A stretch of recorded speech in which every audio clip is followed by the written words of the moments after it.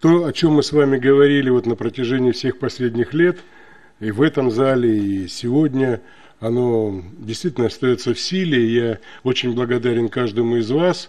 И на самом деле вот э, готов по первому зову решать те вопросы, которые необходимы для нашего Красноярского края, для наших жителей, те проблемы, с которыми вы столкнулись.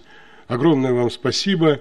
Я всегда здесь, всегда днем и ночью доступен, поэтому мы вместе с руководством законодательного собрания, с руководством комитетов будем выстраивать позиции. И в любое время дня и ночи у нас в Москве и у нас в Красноярске мы готовы выполнять те задачи, которые нас, на нас возложили наши избиратели. Даже если я сегодня сенатор Российской Федерации, я депутат Законодательного собрания Красноярского края. Спасибо.